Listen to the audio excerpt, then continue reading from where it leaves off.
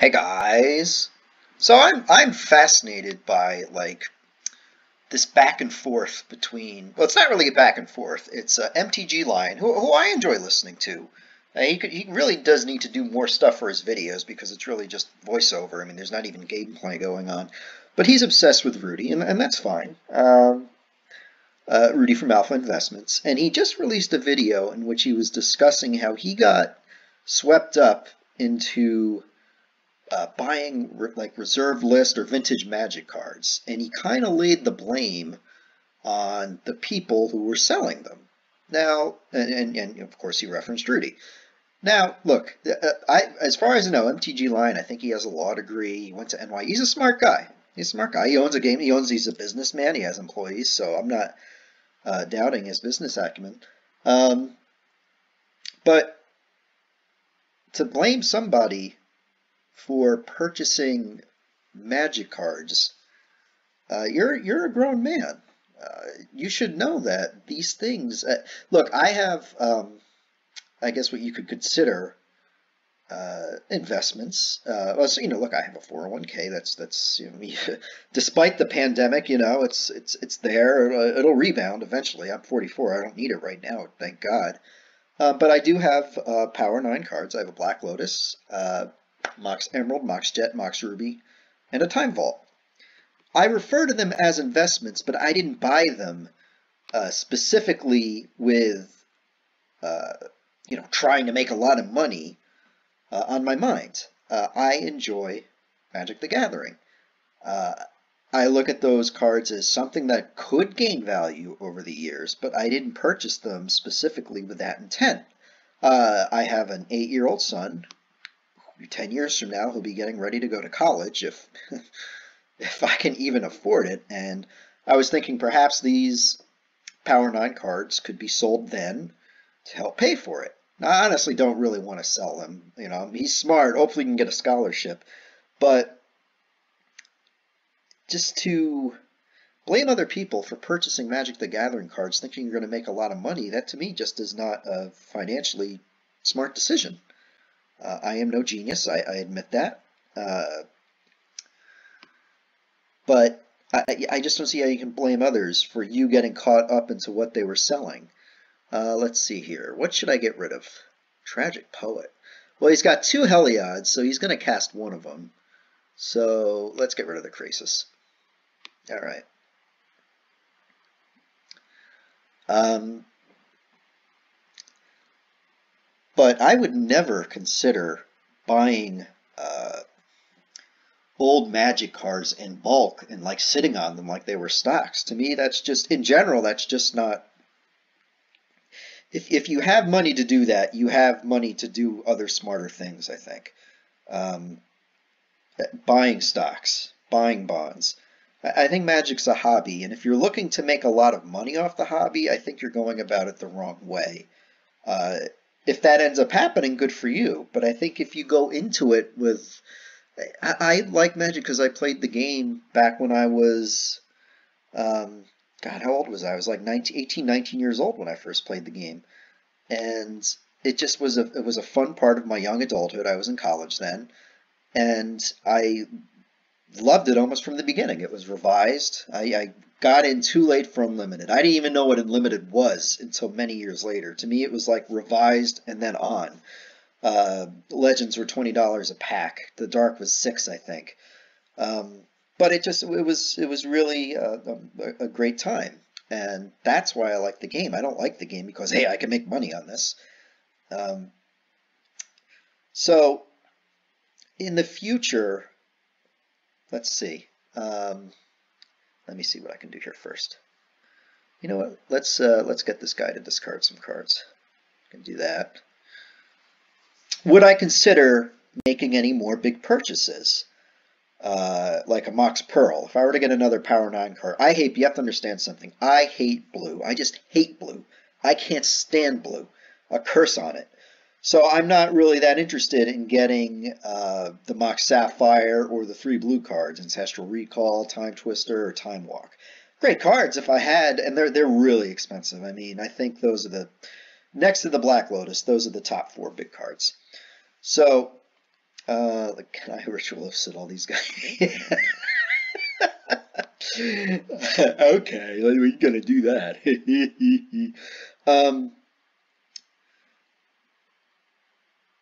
so I would consider perhaps buying uh, another, maybe a Mox Pearl.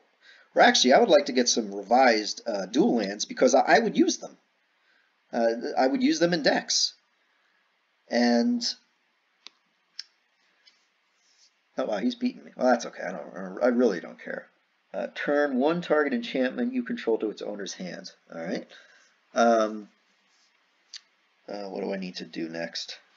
I guess I got a murderous rider him. I'm getting kind of low. But I guess I got to do that. Can I play both next turn? Yes, I can.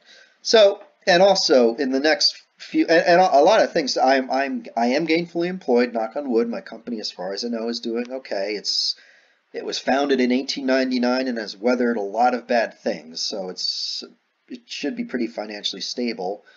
Um, so here, let's see what we can do here. Well, let me get rid of this guy first, if I can. Let's see if he counterspells it. He might. Or okay, good. okay, let's see what happens here.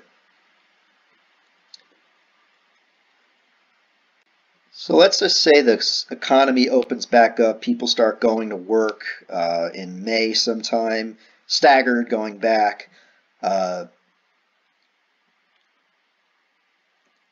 would I consider? I, I, would consider buying some uh, revised dual lands, uh, and and not the ones that are worth the the most. Uh, I, I like certain colors, so that that's what would guide my decision, not which ones are gonna could possibly make me the most money later on. Those would be the uh, underground sea, probably, uh, the tropical island, volcanic island, because most people enjoy playing variations of blue and vintage and legacy. Those are the big ones. Um, let me see here. Do I have anything in there? No, I don't. Uh oh this, this, this might not be good. Uh, well, let's do this. So, I mean, I like red, green, and black. So Badlands are probably the most expensive of the bunch. I already have four Bayous. Those actually are pretty expensive. Um, let's see what I can do here. One, two. Do I have enough left for Lazav? I do. Oh, that's kind of cool. I don't have any creatures though.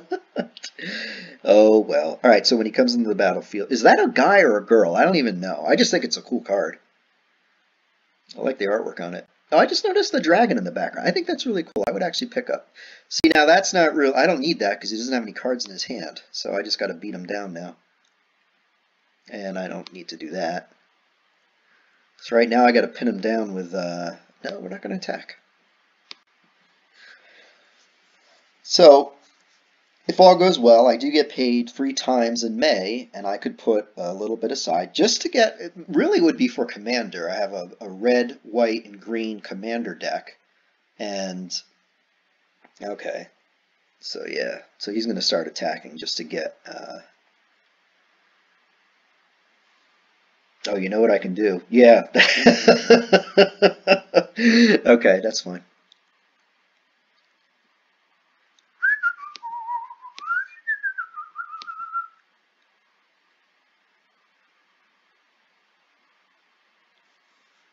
I would put it on your other flyer. I wouldn't put it, yeah, I would put it on him. Don't put it on this, the Archon, because I can get rid of that.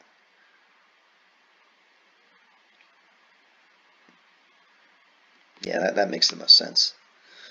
So I would buy, uh, what I would buy is a plateau, a savanna, and the most expensive one probably would be the Badlands. And I like the Jund colors, as the kids call it.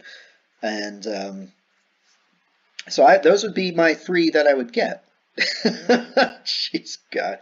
All right, let's see what we can do here. Let's do four. One, two, three, four. Uh, yep, And you know what I should have done? Well, that's okay. I deal with it. Need a blocker. Actually, you know what? I'm just going to let him uh, attack because there's no point in trying to no point in trying to do that. And would I get play sets of any of them? I, you know, I don't know. I like to play vintage, so uh, my most powerful colors are. I have a green and black play set of the Bayous, so uh, Taigas aren't that expensive, and the Badlands are. So if I were to get a play set, probably the Badlands uh, over time. But again, it's not something I, am not looking at. Oh, oh, I think I'm in trouble. I'm not looking at them as uh, really big investments, though. This guy's got me. Um, so it, it, would be more for fun. I, am not looking for the gem mint ones, whatever they're called. Um, just I would use them to play. Hopefully, pass on to my son. That's really what I'd like to do. Uh, hopefully, you can get a scholarship, and that will not uh, necessitate me selling anything. Um, yeah, I'm not going to block unless I get something that can. Yeah, why don't you attack, dude? Attack. Makes no sense. Attack. He's indestructible. Okay. Yeah. I think I'm going to scooch after this. Come on. Or you just want to make me wait because you're upset. Whatever. It's a game, dude. But anyway, so look, if you were stupid enough to get swept up into somebody online telling you to buy vintage magic cards, you got nobody to blame but yourself.